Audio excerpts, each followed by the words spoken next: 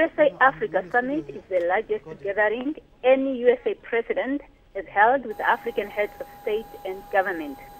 It is taking place under the theme Investing in the Next Generation. The president also met the USA Secretary of Interior, Sally Jewell, to discuss issues relating to environment and wildlife. President Pohamba was expected to attend a dialogue on combating wildlife trafficking as part of the summit. I am uh, really impressed with what you have done, and I think you are clearly a leader within the continent of Africa for recognizing the economic benefit of healthy ecosystems and uh, wildlife.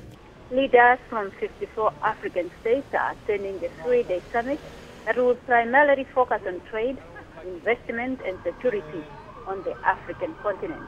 Reporting for NBC News, I am Sam Shanika in Washington, D.C.